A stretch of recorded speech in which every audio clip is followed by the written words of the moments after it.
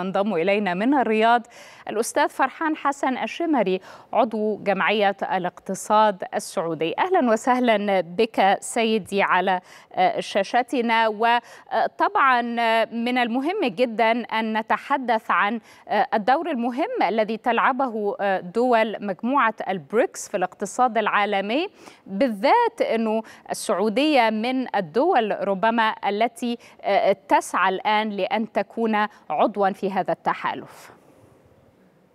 حياك الله ومساء الخير للجميع وشكرا استاذه استاذه دينا. طبعا مثل ما ذكر تقريركم وذكر موفدكم في جوهانسبرغ إن هناك أكثر من 40 دولة راح تحضر أكثر من كثير من الجمعيات راح تكون موجودة.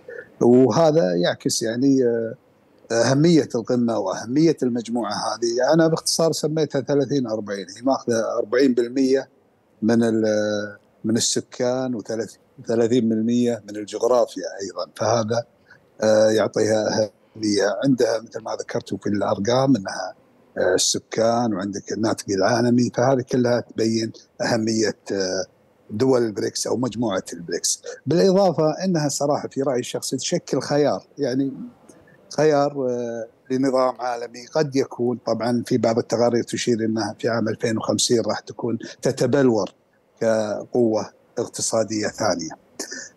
فهذه من ضمن الأمور اللي تنظر لها الدول وتنظر للتقدم السريع مثل ما قلتي هي هي في تنافس غير مباشر مع الدول السبع وحققت تقدم مؤخرا فهذا مؤشر إيجابي لهم طبعا. وبخصوص يعني المملكة ومصر والدول العربية فالانضمام لها شيء يعني طيب من ناحية إنها مثل ما قلنا إذا تكلمنا مثلا عن المملكة عندنا طبعا إحنا نمشي في خطة 20 ورؤيه 2030 فأساس الخطة أن نوجد بدائل للنفط.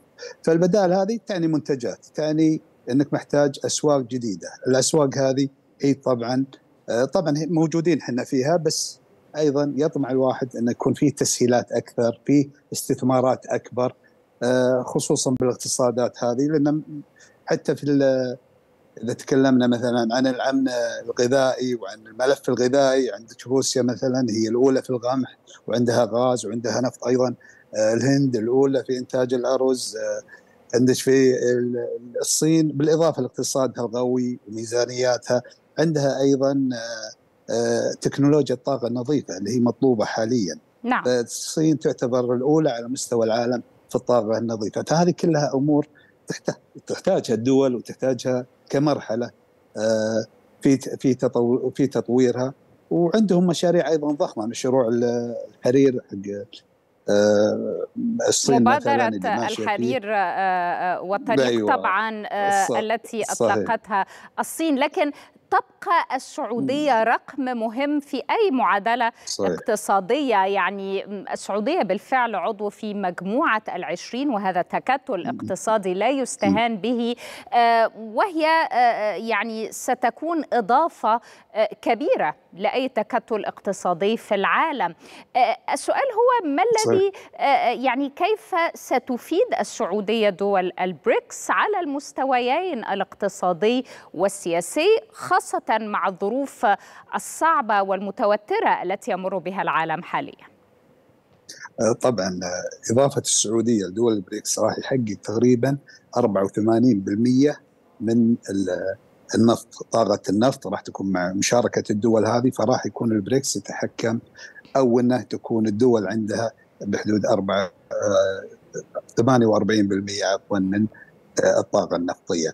طبعا المملكة يعني سياستها جدا يعني حكيمة ومتوازنة في ظل يعني أنها تخدم أهدافها. فهذا التجمع الاقتصادي مفيد جدا مثل ما قلت لك المملكة أنها تسوق في أسواق راح تكون مفتوحة في تسهيلات.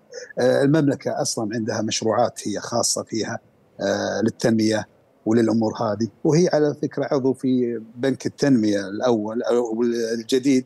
نعم. اللي هو تبع بريكس كمصر والإمارات هو هو فتح اسواق بالنسبة موجودة. للسعودية لكن كنت أتحدث أيضا عن الثقل الذي ستضيفه السعودية حال انضمامها إلى المعادلة السياسية ربما عالميا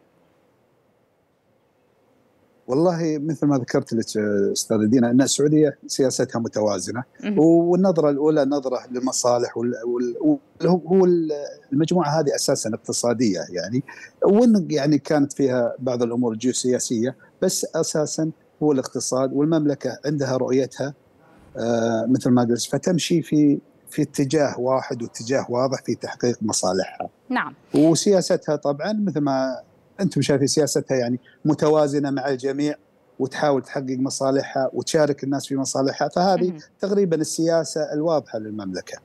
أرجو أن تبقى معنا أستاذ فرحان ينضم إلينا من الجزائر الدكتور أحمد طرطار الخبير الاقتصادي. أهلا وسهلا بك دكتور وطبعا نسبة مساهمة البريكس في الاقتصاد العالمي تتجاوز الواحد والثلاثين بالمئة. هي طبعا تشكل مجموعة مهمة جدا. الجزائر أيضا من الدول التي تسعى للانضمام إلى بريكس لنتحدث عن هذا الموضوع. الموضوع وما توقعاتكم بالنسبة لانضمام الجزائر في أقرب فرصة للتحالف؟ مرحبا بك أستاذة مرحبا بضيوف الكرام مرحبا بمشاهديك.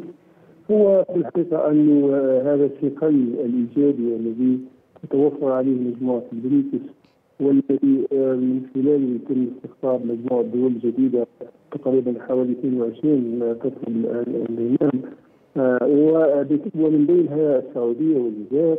أعتقد انه كما اسلف الجليل بالنسبة للسعودية هو أيضا ينطبق على الجزائر. الجزائر هي نقول أول دولة إفريقية من حيث المساحات في إفريقيا. لها اقتصاد واعد لها قدرات وإمكانات مهولة في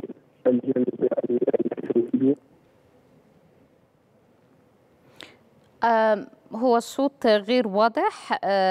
سنحاول إصلاح هذا الأمر دكتور أحمد طرطار ونعود مرة أخرى للأستاذ فرحان الشمري من الرياض. أستاذ فرحان طبعا هناك حديث عن يعني التعامل ما بين دول مجموعة البريكس بعملاتهم المحلية أو حتى إصدار عملة موحدة للمجموعة في ظل محاولات كثيرة من دول عديدة لمواجهة هيمنة الدولار. ما هي أفكارك بخصوص هذا الموضوع؟ والله إصدار عملة نكون صريحين مسألة صعبة صراحة يعني. م- الآن الاتجاه للعملة الإلكترونية. ففي اتجاه وفي يعني اوريدي مثل ما تقولين انه تنفذ هذه المسألة. فالاتجاه للعمله الإلكترونية. أيضا مما ذكرت التقارير إن عندهم يعني آه يعني إشكالية في مكان انه لازم يكون هناك في بنك مركزي وهم يبون يعتمدون على الذهب فيه فأين يكون هذا؟ فيقول في اختلافات في الهند والصين. آه في أيضا آه عفوا اللي هي مثل ما قلنا وين يكون مكانه. أيضا احتياطات من الذهب. هل تكون متوفرة. فأفضل إنهم يتجهون الاتجاه الموجود اللي هو العملة مثل ما قلنا اللي هو العملة الإلكترونية.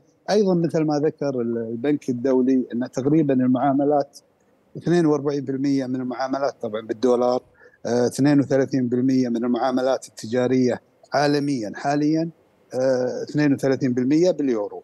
2% بس هو اليوان الصيني اللي ياخذ مساحة. ف يعني حتى إذا أرادوا فهذه المسألة راح تأخذ وقت. ومثل ما قلت في في في إشكاليات إجرائية اين مكان البنك كم تجميع رصيد من الذهب والأمور هذه. فأفضل إنهم يعني رأي الشخص إنهم يتجاوزون هذه المسألة. نعم. للعملة الإلكترونية اللي بدأت هي الآن. تنتشر وتاخذ موقعها. أعود بنفس الإطار لضيفنا من الجزائر الدكتور أحمد طرطار وبرايك إلى أي مدى يمكن أن يفعل هذا التحالف الاستخدام الأكبر للعملات المحلية لدول المجموعة؟ هو بالأساس يعني أو الفكر الاساسي من خلال ما بعد آثار العالمية فيها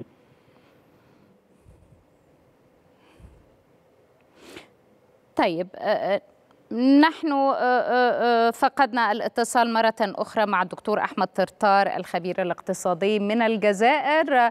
أشكرك شكرا جزيلا على وجودك معنا والشكر موصول أيضا لضيفنا من الرياض الأستاذ فرحان الشمري الخبير الاقتصادي. شكرا جزيلا لك.